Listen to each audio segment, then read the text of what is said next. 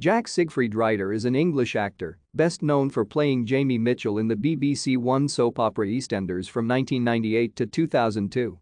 He has subsequently established himself as a film and theatre director. Ryder is the son of Jack Hues, the founder of 1980s new wave band Wang Chung.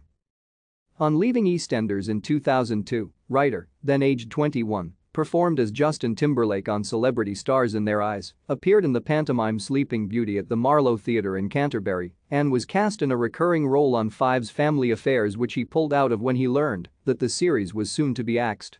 In 2004, he played a role in the ITV crime drama MIT, Murder Investigation Team and appeared in a play broadcast on BBC Radio 4. In 2006, Ryder starred in the British film Popcorn which was released in the spring of 2007.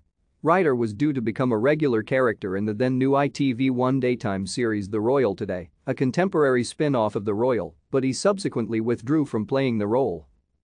In 2007, aged 26, Ryder appeared in the play The Safari Party by Tim Firth and in Kenneth Branagh's production of the play, What I Wrote which toured the UK extensively.